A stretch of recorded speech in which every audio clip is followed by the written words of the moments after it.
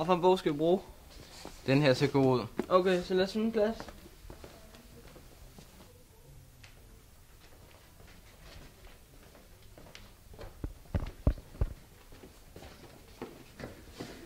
Nå, lad os få lavet den opgave. Ja. Nå. Har, har du egentlig fået hørt om det der øh, mor, der skete i mandags? Ja, yeah, jeg har hørt lidt om det. Nå? Kender, ved, ved du, hvem det var, der ham der, der blev dræbt? Øhm, jeg skal lige hente noget at drikke. Ja, okay. What the fuck?